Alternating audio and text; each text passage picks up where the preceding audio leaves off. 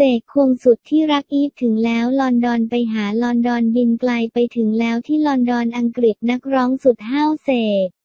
โลโซเสกสรรสุขพิมายไม่ได้แอบควงแต่ควงแบบเปิดเผยแบบจริงจังจริงใจ ไปกับแฟนสาวคนล่าสุดอีฟแม็กซิม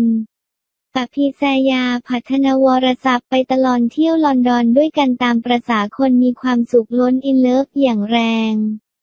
เสกยังฮอตทะลุประเทศแฟนเพลงยังเยอะเหนียวแน่นหนึบแน่นอนว่าเสกต้องทำหน้าที่พ่อแวะไปหาลูกสาวสุดที่รัก